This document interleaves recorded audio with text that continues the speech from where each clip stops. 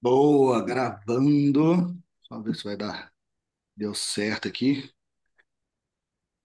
Teve um dia que eu coloquei, na hora que eu fui ver a gravação ficou pausada no início. Vamos ver se startou.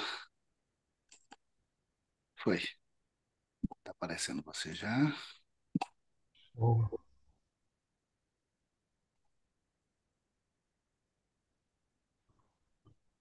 Pronto. Bora lá, doutor. Bora Como que vai funcionar essa sessão estratégica? Eu, em 30 minutos, eu vou entender o seu problema e te dar a solução mais sniper possível, aquela mais direta ao ponto para resolver de imediato. Então, se tem um tempinho aí, já me conta qual que é o seu problema, o seu gargalo, para eu descobrir como que eu vou conseguir te ajudar. Perfeito. É, eu conheci vocês, né, você e a Agi, é, através de um outro lançador que eu tinha. Ele, inclusive, você já compartilhou vários resultados que, que ele teve aí com a Turboal, né? Aí, por coincidência, eu encontrei a Agi no aeroporto uma vez. Aí lá mesmo eu já entrei, né, na, na, men- na mentoria, não, na verdade no curso, né, para poder entender estratégia. isso, na estratégia. E comecei a aplicar, cara. E assim, vou te falar, viu? Tá sendo excelente. Só não tá sendo melhor por falha minha, né? Porque a estratégia eu já vi que funciona e tudo mais. Só que é, eu não estou conseguindo realmente fazer o C2 e o C3. Por quê? Porque como não está muito claro para mim essa, é, essa questão do que que tá sendo, do que que precisa ser feito, né? De como e tudo mais, para o meu nicho, porque lá você se explica muito bem, né? Mas de forma genérica. Agora, para o meu nicho, como que eu faria isso de forma mais assertiva? Porque por não saber como aplicar, eu acabo procrastinando. Fiz um ou outro ali, né, matando uma objeção, mas não deu tanto resultado, eu não consegui metrificar isso e isso me desestimulou. Entendeu? Então, assim, o C1 está sendo excelente, eu estou conseguindo entender, né? Estou conseguindo produzir ali, isso está aumentando a base, e eu sei que eu estou pecando no volume, né? Se eu produzir mais, eu consigo aumentar ainda mais essa base, então está funcionando, só que na hora do C2 e C3, eu fico assim, sem saber o que fazer e Você consegue atrair as pessoas, está crescendo a base, mas isso, você não está conseguindo converter elas. exatamente. Ah, então, seu, seu problema, eu te falar que nem é na turbo exatamente, não. Seu problema está na oferta. Hum. Entendeu? Me fala mais sobre isso, porque Vamos lá, tá? tenho minha É, suspeita. É, é um do- dos processos que eu faço na hora de, de entender onde que está o gargalo da pessoa. Se você Uhum. tem audiência, a audiência está chegando e a audiência está indo embora sem comprar de você, a sua oferta não está atrativa o suficiente. Ou então o seu engajamento está tão baixo que eles não chegam nem a escutar a oferta. Eles chegam, mas não ficam. Primeira coisa, eu vou querer que você me manda seu, seu Instagram. Pode mandar no chat aqui, que eu vou abrir e vou dar uma analisada no seu Instagram. E eu vou querer Uhum. entender um pouco mais da sua oferta. Qual que é a sua Roma hoje? Qual que é o, a sua promessa principal? É, desenvolver, é, faturar acima de dez mil reais com desenvolvimento de projetos BIM, é, você vai entender quando você entrar. Eu conheço, eu sou É, engenheiro também, eu sei como é que ah, você é engenheiro? Ah, Ah, que bom. Então você, você, você provavelmente vai saber até me instruir melhor. Desenvolvimento de projetos em BIM é 100% compatibilizados. Aí eu vou te Tá, mandar aqui o projetar BIM, underline, William Alves. tá. Vamos, vamos ana- analisar, tá?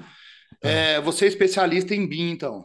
Sim, Como que é a demanda pelo BIM hoje no mercado? cara, total. porque depois que o governo, né, é, aboliu o uso do- da metodologia CAD, né, o Uhum. É, todas as empresas, não só profissionais, né, como todas as empresas, tiveram que se readequar a atender essa tecnologia. Que é no, aí, mais para para obra pública, né? para tudo, na verdade, né, porque o governo exige através de obras públicas, né, que é o que ele o que ele fornece, mas isso já vem sendo aplicado nas grandes construtoras, MRV é um exemplo disso, desde 2016, entendeu? Então, assim, como os maiores, né, já estão já estão exigindo isso, os pequenininhos que acabam recebendo o serviço dos maiores também têm que atender essa demanda. Tá. Seu engajamento não é ruim. Tô vendo aqui, seu engajamento não é ruim, não. Estou dando uma olhada no seu perfil, não vou nem compartilhar ele agora, você tem poucos Tá, comentários. Eu vou te tá. passar alguma, algumas coisas para a gente melhorar isso, mas não chega a ser ruim o seu engajamento, não. Tá? Vamos lá. Sua oferta, qual que é o seu ticket hoje? Ah, aí a gente vai ter alguns. Assim, eu fiz vários testes, nenhum lançamento foi igual ao outro, né? E eu venho. é, no antepenúltimo, eu ofertei uma mentoria, ah, ou melhor, no penúltimo, uma mentoria, no antepenúltimo, um treinamento, e nesse agora, que eu fechei o carrinho sexta-feira, foi uma pós. Então, foram Então, você já tem três. uma lan- pós-graduação Já, já tenho pelo Rui. focada em BIM. Isso, focado em PIN. Muito bom. Qual que é o ticket da pós? Após, o Rui me aconselhou para a primeira turma 24 de é, 297. Tá, vendeu quantos? 3. Para aluno ou para lead free? Lead frio. Então, aluno não comprou nada. Não, o aluno eu já tinha feito um- uma semente antes. E aí eu já tinha vendido mais barato ainda antes do lançamento. Tá, e não vendeu nada para. Vendi, vendi, vendi 5. Tá, beleza. Então, o jogo da pós eu gosto, tá? Só que o jogo da pós, ele é um jogo de médio prazo. Sua oferta de pós, ela tem uma vantagem para o curso livre, que é o quê? Na cabeça do engenheiro, se ele tiver uma pós-graduação, ele vai ganhar mais. O engenheiro que busca pós, ele não vai falar que ele está querendo ganhar mais, ele fala que ele quer aprender a técnica. Então, é em cima disso que você vai trabalhar, da técnica, do BIM, da oportunidade de trabalho do BIM. Você não precisa falar dia dos 10 mil a mais. Deixa isso para o curso livre. Outra vantagem da pós-graduação, a sua já está sendo gravada, né? Na, na verdade, ela já é o treinamento que eu Já é o mesmo treinamento e É, só incluiu os negócios do Rui lá e está executando. Beleza. O que, que você vai fazer com essa pós agora? Você vai precisar de uma equipe comercial. Você pode começar com uma pessoa, um close. O que, que você vai fazer? Funis de venda desse produto. Público quente e público frio. Foco no quente, mas pode testar conversão para público frio também. Pós-graduação vende para público frio. Com a oportunidade de quê? Se adequar às novas normas e aprender o BIM. Ter uma pós-graduação em BIM. Conseguir mercado na área de projeto com BIM. Então você vai criar vários, vários, vários funis que você vai testar, levando a pessoa para onde? Para o seu comercial. A pessoa, quando ela chega numa página de vendas, ela vê uma oferta. Ah, 299 por mês, tá puxado, não sei, eu não estou trabalhando. Ah, não sei o que lá, fica cheia de dúvida. E ela fica querendo tirar essas dúvidas, e nem sempre ela tem uma facilidade de chamar lá o suporte e tirar as dúvidas. Aí ela deixa para lá. Quando você faz um funil direto, direto para o comercial, a chance de conversão é muito maior. Esse comercial no início pode ser você, tá? Não sei como é que você está de tempo. Você tem tempo para responder no comercial? A gente nunca tem, né? Quem falar que tem tá mentindo. Você Mas a, eu, eu tenho uma equipe assim para desenvolvimento de projetos que eles podem também me ajudar com isso. precisa de um vendedor que vai receber no WhatsApp a galera, vai tirando dúvida. Se a pessoa tiver com muito dúvida, tem que pegar e falar assim: cara, posso te ligar? E ligar para a pessoa e fechar na hora. Hum. Liga ali pelo WhatsApp mesmo e conversa. Com Então, a entonação. pós, para pós o jogo do perpétuo mesmo, né? Perpétuo, perpétuo, jogo do perpétuo. Você pode fazer lançamento de pós? Pode. Umas duas, três, até no máximo quatro vezes por ano. É legal fazer lançamento de pós, que ele dá um pica a mais. Mas o jogo de pós é o jogo do empilhamento. Se você coloca no- na sua meta aí, ó, primeira coisa que você quer fazer é vender 30 pós por mês. E aí você tem, ou seja, você tem que vender uma todo dia. Você tem que ter um funil trabalhando todo dia, jogando com o comercial, e o comercial vem vendendo todo dia. Quanto que você vai pagar para esse cara para ele vender para o seu comercial? Você vai falar com ele, cara, te dou 200 reais por venda. Mais um fixo lá de ajuda de custo. Sei lá, ó, vou te dar 1.500 reais por mês, mais 200 reais para cada venda que você fizer. Que vai Uhum. pagar 299, aí tem taxa, aí tem imposto, tem sei que lá, sobrou 200 limpo. Ou seja, a primeira parcela é do cara, é do vendedor. Você vai ganhar nas outras. Com 30 vendas por mês, a hora que você bater essa meta, 30 vezes 299, você vai ter 8 mil reais por mês. Depois de um ano, dois, um ano, você vai ter 107 mil por mês. É um bom dinheiro, né? Uhum. Você vai empilhando. Só que você não vai começar no primeiro mês vendendo 30. Porque os seus funis não estão redondos ainda. Você vai demorar uns 3, 4 meses para você arredondar o funil e arredondar o script. O script de venda, ele é escrito. A forma que ele vai se atender, atender é escrito. A forma como ele quebra as objeções são escritas. Todas as objeções, você já tem que ter o argumento para quebrar essa objeção. Quando surgir um novo, você tem que criar para ele quebrar a objeção. Esse vendedor, conforme ele vai ficando melhor, ele vai aumentando a taxa de conversão dele. E aí, o seu trabalho é mandar lead qualificado para ele. Esse é o jogo de pós-graduação. É diferente do jogo de infoproduto. Se você foca em, em pós-graduação, eu te falo que daqui a um ano você não tem mais problema financeiro. Você resolveu todos. Só vendendo esse produto. Sem ter que ficar fazendo lançamento. Você vai continuar fazendo seu conteúdo, vai continuar atraindo as pessoas, vai continuar vendendo após 100% com a equipe comercial. O Elton lá do GPS, do antigo Corpo Explica, como que ele vende hoje? 100% comercial. Tatiana de Embrael, como é que ela vende hoje? 100% comercial. Todos eles focados aí, todos eles têm perpétuo rodando. E aí você pode vender para público quente e público frio. Se existe uma demanda pelo BIM hoje, você só precisa achar onde é que eles estão. E aí é trabalho, ó, manual de converter. Qual que você acha que converte mais? Um vídeo de vendas ou uma pessoa um a um tentando converter? Um a um. Vídeo de vendas, engenheiro costuma nem ver. Exato. Pós-graduação, cara, até pode ser que venda, tá? Não estou falando que não vende no lançamento grandes explosões, não. Mas um a um você converte dez vezes mais. A pessoa ela já vai com, com a cabeça convertida. Ela já sabe, cara, eu quero muito ter uma pós-graduação. E isso para ele é um sinal de status, é um orgulho para a família, é, uma, é um algo a mais no currículo dele para ele apresentar na hora de conseguir um emprego. É um algo a mais para ele pedir para o quê? Para subir o salário dele. É algo a mais para ele pedir para a empresa reembolsar ele. Tem empresa que reembolsa pós-graduação. Uhum. Só que é um trabalho diário. Então, o que, que você tem que criar? Funis. Iscas. Cria um monte de isca, cria um monte de funil, levando a galera para onde? Para comercial. O que, que você pode dar para um cara que, que quer aprender mais sobre BIM? Cara, você pode dar um e-book, você pode dar uma planilha, você pode dar um layout, você pode dar algo para ele baixar. Entendeu? E ali uhum. você pega os dados dele e joga ele pro comercial e deixa o comercial fazer o trabalho. E aí, colocando na cabeça do pessoal que a meta, a meta é fazer 30 vendas por mês. Essa é a meta. Ah, não vai ser muita coisa, 30 vendas, vai me dar 8 mil e pouco por mês. No primeiro mês, aí soma com o segundo, aí soma com o terceiro, aí soma com o quarto. Lá para o sexto mês você já está rindo. Porque o investimento em tráfego é baixo. Entendeu? Para você, você fazer 30 vendas no mês aí, ó, você vai gastar aí de 3 a 5 mil reais de tráfego. Com isso, pagando aí 10 a 15 reais no lead, no lead bom que chama lá na, na chamada, olha quantos leads você traz. Vamos lá 10 reais, 3 mil reais, são 300 leads. 300, 300 leads. Cara, o comercial tem que converter 10%, que chamou. A pessoa está interessada. 10% é baixo para o comercial converter, tá? Que está chamando de um lead qualificado. Se a pessoa chamou, é porque ela está querendo.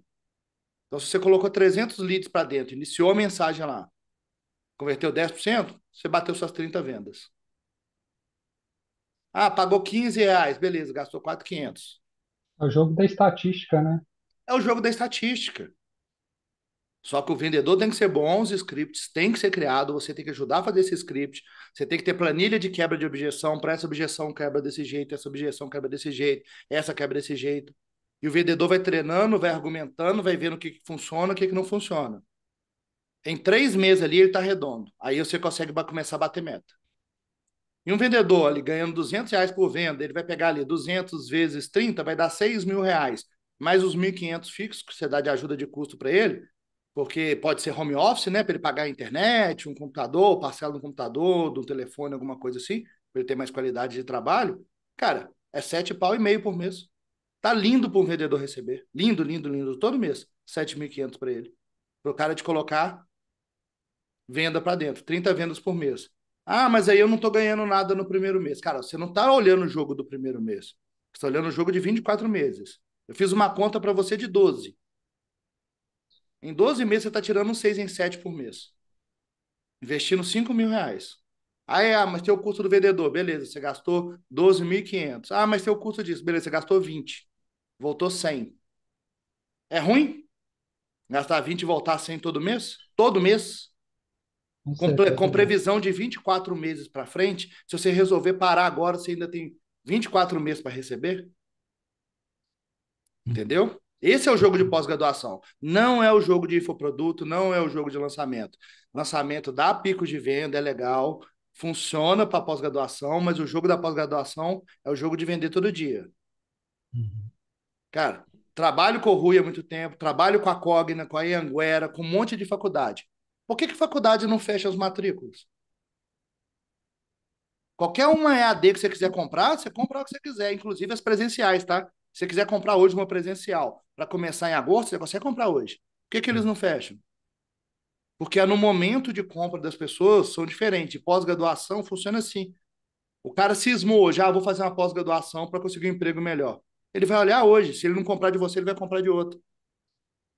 Você tem que estar na cabeça dele o tempo todo. O seu C1 funciona, o seu C1 tá legal. Eu vi aqui seu, seu engajamento.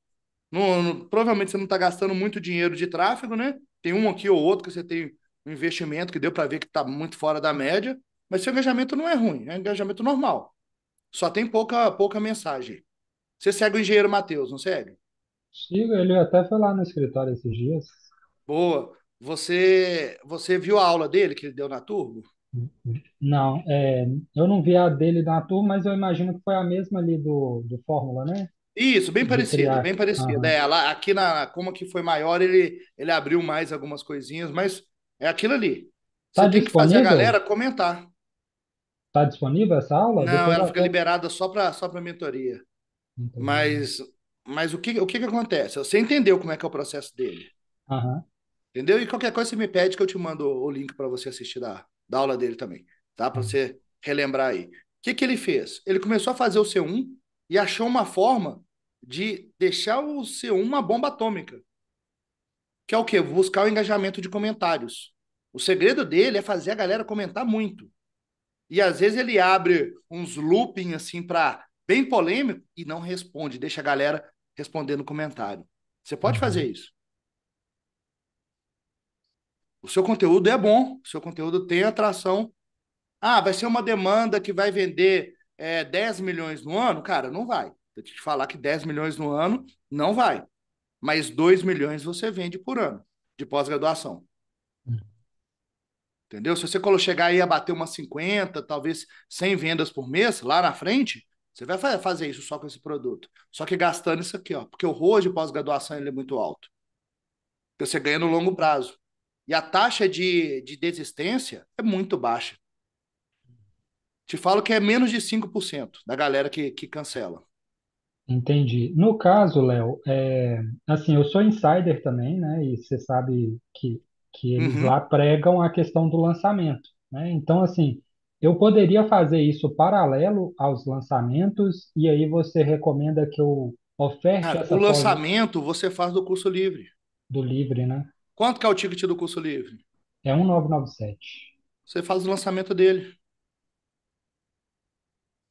Entendeu? Porque no curso livre você estava vendendo quantos quando você lançava? Cara, era 10 em média, assim, mas eu não Tá era, alu- eu não era aluno do Insider ainda, né? Eu entrei esse Tá, ano. mas com quantos leads você vendia 10? dois mil leads, Não, tá pouco. Meio por tá? cento. É, Tá pouco, é, minha tá? taxa é meio por cento. É, sua taxa de conversão tá, tá baixa. Então, ou seja, você tem que melhorar a cópia da sua oferta. Principal, eu te falo que não é nem o lançamento, é a cópia da sua oferta. E a cópia da sua oferta vai estar ligada diretamente ao tanto de C3 que você tem. Você tem muita prova? Tem essas que estão aí até fixada no, no início. No feed aqui? É, essas estão fix- fixadas aí? Eu acho que tá, né? Eu não tirei, não. Tem duas fixadas. Quais as disciplinas de trabalho do curso? E outro de 10 mil. Só tem duas fixadas. Outra de 10 mil? 10 mil? Será que eu tirei a prova? Deixa eu ver aqui também.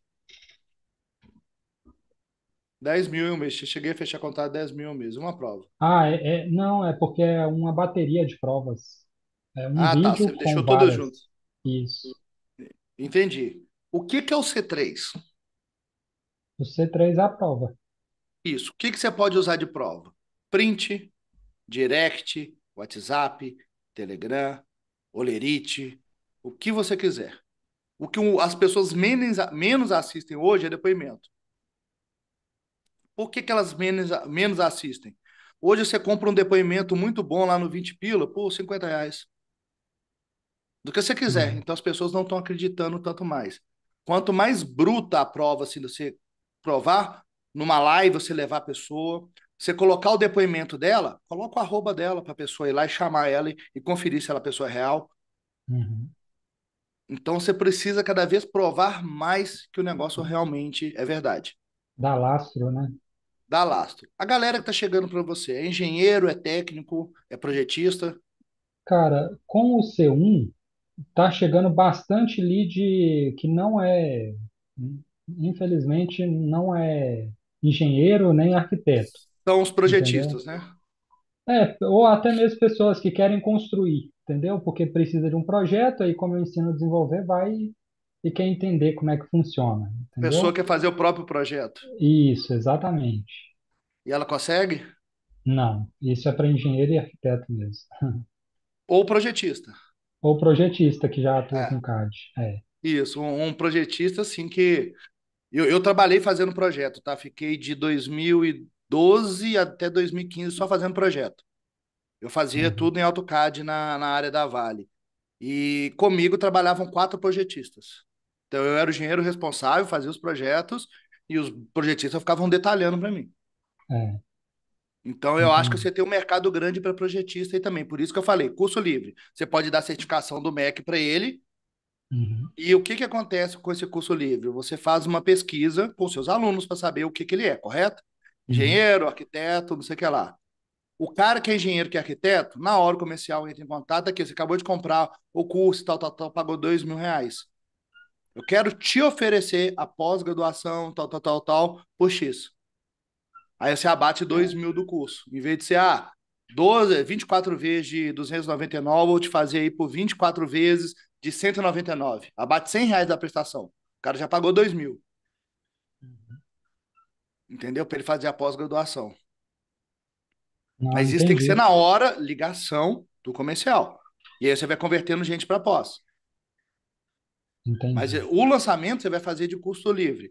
Tem gente que eu indico fazer lançamento de pós? Sim, alguns casos é importante, tá? Então não é para todos os casos. O seu caso eu conheço porque eu sou seu avatar. Eu trabalhei com o projeto vários anos. Eu conheço pessoas. Tem amigos meus recentes que estavam fazendo curso de BIM. Por isso que eu conheço um pouco de BIM, que eu não, não sabia o que, que era até pouco tempo atrás. Então eu falei, ah, não, estou fazendo um curso de BIM, que eu tenho vários amigos que são engenheiros, trabalham ainda na área, eles estavam fazendo um curso. Entendeu? Por isso que eu sei um pouco o que é, mas nenhum deles estava fazendo pós-graduação. Entendi. E aí você pode usar o funil e falar, cara, esteja na frente da sua concorrência. Faça uma pós-graduação em BIM e domine o mercado na área de projetos. Você pode fazer um monte de coisa estática, de vídeo, de visual, entrar com conteúdo, pegar os seus melhores C1s, coloca ele no final, faz o CTA para levar para o comercial. Que aí pode ser uma página de vendas com o botãozinho para falar com o comercial, falar com o time de vendas. Isso aí não criaria um conflito com a questão do lançamento? Porque atualmente eu já faço isso, né, para o pessoal se inscrever ali, ou, ou que seja na lista de espera, ou que seja é, na- no momento do lançamento. Como que eu iria fazer isso para que, que você não acha que cria o conflitar? conflito? Por que que cria um conflito? Porque, igual, por exemplo, nesse, eu entrei, eu já tinha feito lá outros lançamentos, lancei chamando eles para fazer um curso, né? O, o curso que eu dei ali no CPL. Só que na hora que eles entraram, eu ofereci uma pós. Aí, tipo, a galera não estava esperando receber uma oferta de uma pós, talvez até de um curso. Mas chegar oferecendo uma pós, eu acho que isso foi um, um dos principais problemas que eu tive. Se a narrativa então estava errada do seu lançamento. Quando a gente vai fazer uma, um lançamento de pós, a gente, na captação, a gente avisa que é um lançamento de pós-graduação. Cara, venha conhecer a pós-graduação que vai mudar a sua vida. É assim que a gente chama. A gente já chama a pessoa falando para ela conhecer a pós. O que, que são CPLs? Oportunidade, oportunidade amplificada, vídeo de vendas. Eu chamo de porta, de janela, porta, pitch. Em vez de ser oportunidade. O que, é janela? Eu falo que a pessoa está chegando ali, olhando pela janela, o que, que tem lá dentro. Ela só olha, ela só vê o que, que, o que, que existe no mundo ali, as oportunidades que tem no mundo. Aula 2, que é a oportunidade amplificada, ela entra pela porta. Entrou pela porta, ela vai começar a pôr a mão na massa, ela vai participar. Você vai dar algo para ela experimentar a sua pós-graduação. Pôr a mão na massa e elevando a expectativa ali. Cara, você vai ter o um diploma de pós-graduação, você vai sair na frente dos outros. E na aula 3, o quê? Pitch de vendas. Não tem amostra, não tem nada. É pitch de vendas direto, do início ao fim. Mostrando para a pessoa que se ela tem uma pós-graduação, ela deixa a família mais orgulhosa, ela se sente mais orgulhosa, ela está um passo à frente no mercado, ela ganha concorrência numa entrevista, ela consegue pedir aumento de emprego, ela consegue ser promovido dentro da empresa. Eu vou dar todas as possibilidades para ela ali. E vou mostrar que o caminho é a pós-graduação. E aí eu explico como é que a pós-graduação funciona. É isso que eles querem. E aí eu mando eles para onde? Equipe de vendas, porque eles estão cheios de dúvidas ainda. Quando você foi, você já fez pós-graduação, já? Já. Quando você comprou, você chegou lá e ficou perguntando as coisas para a pessoa que estava vendendo ou você já chegou e pagou? Não, é, eu fui e participei de uma palestra, que é um evento, só que foi presencial. E aí você tirou as dúvidas lá que você É, tinha na hora. as dúvidas na hora e lá Você mesmo. tinha dúvidas, não tinha, antes de fechar? Uhum, com certeza. E tirar a dúvida te ajudou a fechar, não te ajudou? Aham. Eu fiz, quando eu fiz pós-graduação, eu fiz engenharia ferroviária. Cara, foi uma semana tirando dúvida com o pessoal no, no WhatsApp. Foi 2016, 16, 17, foram dois anos que eu fiz. Foi uma semana eu tirando todas as dúvidas, como é que é, como é que é certificado, se já tinha sido aprovado, se já não tinha. Entendeu? Por quê? Porque eu tinha Uhum. dúvidas. E aí a equipe comercial que vai aumentar a taxa de conversão sua. Isso para pós-graduação. Só que eu não estou falando para você fazer lançamento da pós. Você vai fazer lançamento do curso livre. Por quê? Porque você, seu maior mercado não é o de engenheiro. Seu maior mercado é o de projetista. Entendeu? Para cada 10 projetistas, um, engen um é engenheiro. A grande maioria é técnico. Cara, você me falou uma coisa aí que eu não tinha pensado nisso, porque realmente tem muita gente, né? Porque assim, eu tenho uma dificuldade em comunicar com engenheiro arquiteto, porque o arquiteto gosta de uma comunicação de um jeito, o engenheiro Uhum. gosta do outro jeito.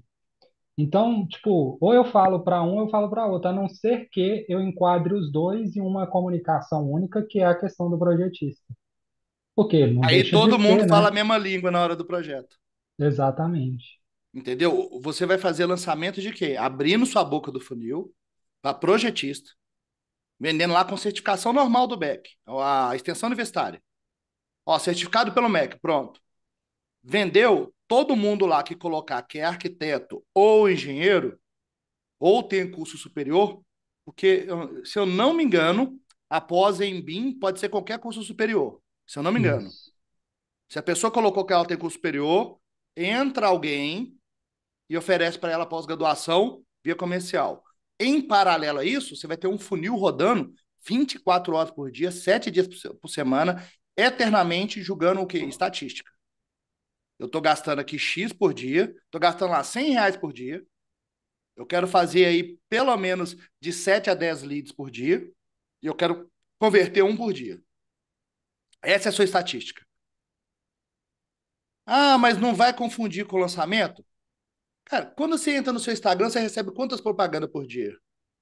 Nossa, não dá para contar, não. Exato, cara, é mais uma.